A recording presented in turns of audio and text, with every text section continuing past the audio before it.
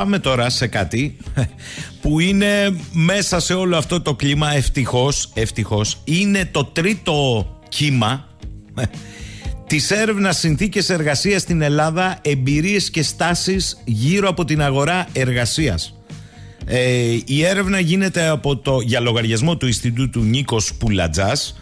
Ε, δημοσιεύτηκαν προχθές τα δεδομένα του τρίτου ετήσιου κύματος της έρευνας και έχω τη χαρά να φιλοξενώ σήμερα στη συχνότητα την κυρία Δανάη Κολτσίδα η οποία είναι η διευθύντρια του Ινστιτούτου Νίκος ε, Πουλατζάς. Θέλω να σας πω όμως ότι αν αυτή η έρευνα την ξεχωρίσαμε, την ξεχωρίσαμε γιατί πήγε σε βάθος τα λεγόμενα, άντε να το πω έτσι, των μετρήσεων ποιοτικά στοιχεία και έρχονται στην επιφάνεια ε, δεδομένα που ακτινογραφούν την κατάσταση της εργασίας στην πατρίδα μας με έναν εντελώς διαφορετικό τρόπο από αυτόν που έχουμε συνηθίσει. Κυρία Κολτσίδα, καλημέρα.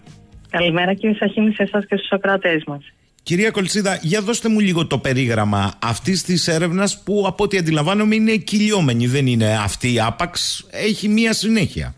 Ναι, ναι, ακριβώς όπως πολύ σωστά αναφέρατε στην εισαγωγή, είναι μια έρευνα που ξεκινήσαμε το 2020 και πραγματοποιείται έκτοτε σε αιτήσια βάση κάθε Νοέμβριο, ε, ώστε να έχουμε διαχρονικά δεδομένα. Γιατί, όπως πολύ καλά είπατε, για να μπει κανείς σε βάθος και να έχει τη δυνατότητα να κάνει συγκρίσεις, ε, χρειάζεται να έχει και δυνατότητα ε, διαχρονικής παρατήρησης. Ε, η έρευνα αυτή, όπως επίσης επισημάνατε, έχει μια διαφορά, δεν, δεν είναι αντιπαραθετική, είναι κατά τη γνώμη μας συμπληρωματική προς τις επίσημες έρευνες και στατιστικές, γιατί ακριβώς επειδή ρωτάμε τους ίδιους τους εργαζόμενους και εργαζόμενες, βλέπουμε πέρα από ε, αυτά που δείχνουν τα επίσημα οικονομικά μεγέθη, πώς βιώνουν ε, οι εργαζόμενοι την, τη δική τους ε, εμπειρία στην καθημερινότητα στην αγορά εργασίας. Μπορεί να φανεί υπερβολικό, αλλά εγώ νομίζω ότι εδώ έχουμε έναν καθρέφτη ε, σε όλο το χώρο που λέγεται εργασία, το τονίζω αυτό, στην Ελλάδα του σήμερα. Είμαι υπερβολικός. Αυτό έχουμε φιλοδοξία να κάνουμε.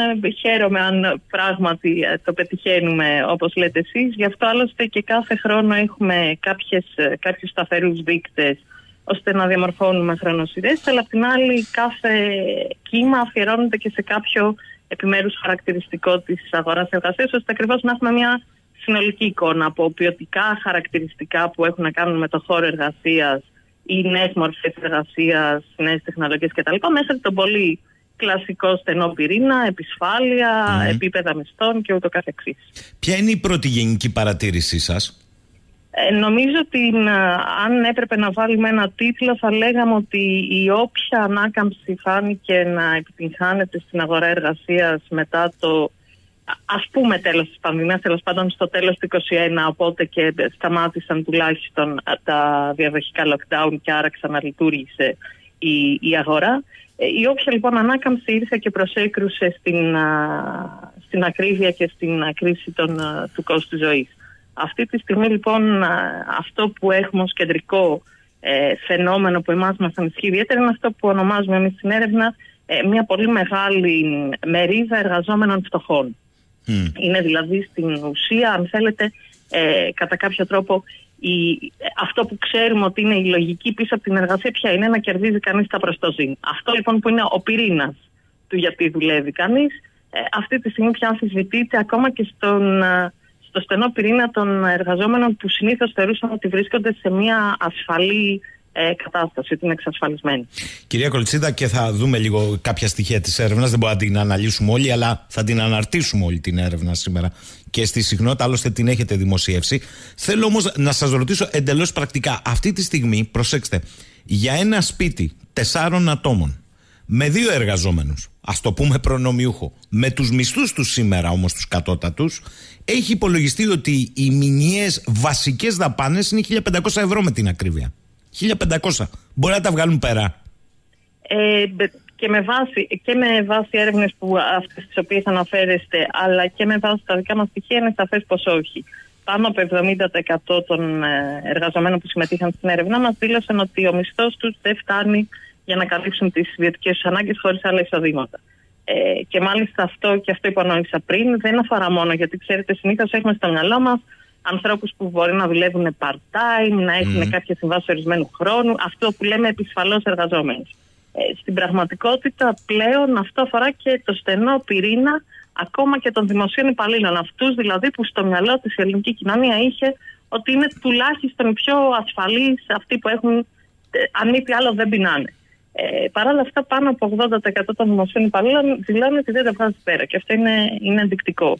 Ε, δεν μιλάμε λοιπόν για κάποια, πώς να το πω, κάποια ειδική κατηγορία εργαζομένων.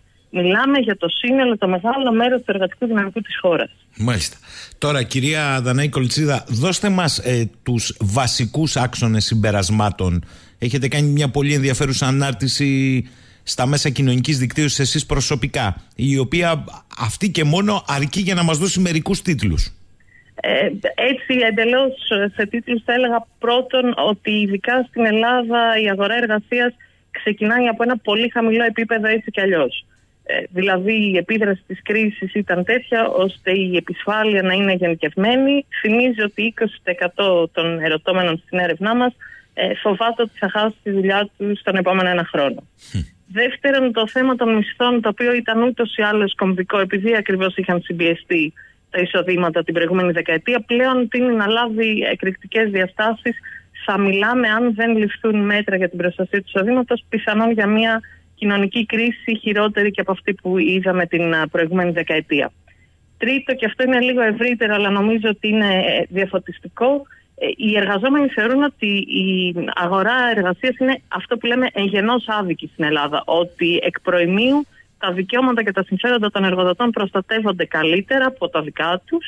Ε, και αυτό το είδαμε και σε προηγούμενα κύματα για το αν καταγγέλουν και γιατί δεν καταγγέλνουν εργοδοτικές αυθαιρεσίες, για το αν εμπιστεύονται τα συνδικάτα και ούτω καθεξής. Είναι εντυπωσιακό, ότι... κυρία Κολτσίδα, και με συγχωρείτε, ότι στη μέτρηση που έχετε κάνει, 8 στους 10, δηλαδή το 78,5 των εργαζομένων, θεωρούν ότι στην Ελλάδα προστατεύονται περισσότερο τα δικαιώματα των εργοδοτών σε βάρος των εργαζομένων. 8 στους 10 δεν είναι 6 στους 10.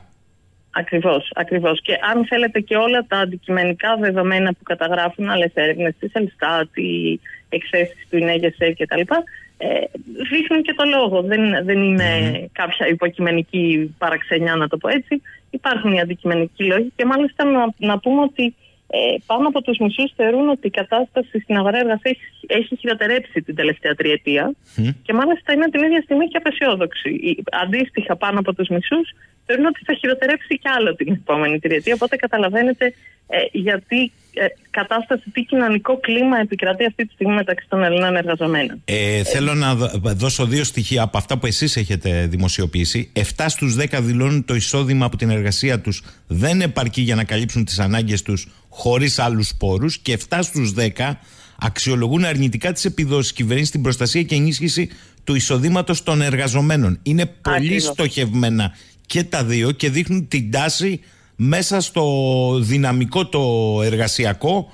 Ε, επαναλαμβάνω, μιλάμε για εργαζόμενους, δεν μιλάμε τώρα για ανέργους, προσέξτε εδώ, ή για τη χαμένη γενιά τους νίτς, δεν μιλάμε για τέτοια πράγματα, μιλάμε για εργαζόμενους. Μάλιστα. Μιλάμε για εργαζόμενους όλων των ηλικιών και για εργαζόμενους ε, επίσης όλων των κατηγοριών, άρα και του δημοσίου και του ιδιωτικού τομέα, και υψηλά, θεωρητικά τέλος πάντων, όπως είναι οι μισθοί στην Ελλάδα αμοιβόμενοι, δεν είναι ούτε μόνο οι αμοιβόμενοι με τον κατώτατο μισθό που τα λένε αυτά, ούτε μόνο οι επισφαλώς εργαζόμενοι. Είναι το σύνολο των εξαρτημένων απασχολούμενων στη χώρα.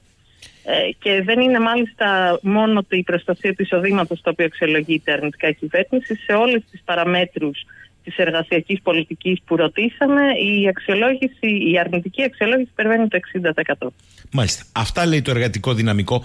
Ε, θέλω να σας ρωτήσω, υπάρχει μια κατηγορία εργαζομένων η οποία δεν πήρε το ονοματιόν της να φύγει στο εξωτερικό και είναι καλά εκπαιδευμένοι εργαζόμενοι, πτυχία, μεταπτυχιακά, διδακτορικά, οι οποίοι όμως δεν βρήκαν στο χώρο, στο αντικείμενό τους εργασία, πήγαν οπουδήποτε αλλού.